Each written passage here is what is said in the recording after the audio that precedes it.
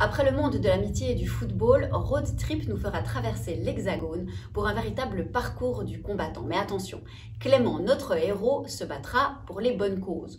Contre l'absurdité du monde, de la SNCF, contre les idées reçues sur les routiers, les bikers et surtout pour que triomphe l'amour.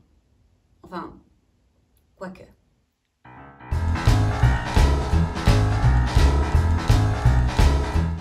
Road Trip, c'est l'histoire de Clément, qui est un jeune comédien qui a été choisi pour euh, tourner dans un film dans le sud de la France. Il va enfin réaliser son rêve. Il est euh, très enthousiaste, très excité, ravi euh, de cette perspective.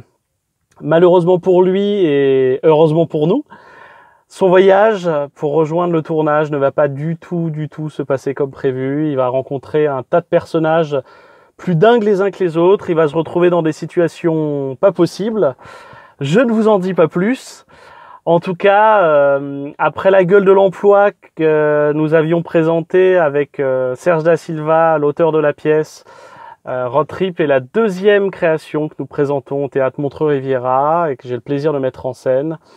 nous en sommes ravis, évidemment, et on a hâte de vous retrouver à Montreux. Vous voyez, je suis déjà dans la voiture, prêt à vous rejoindre. À très bientôt.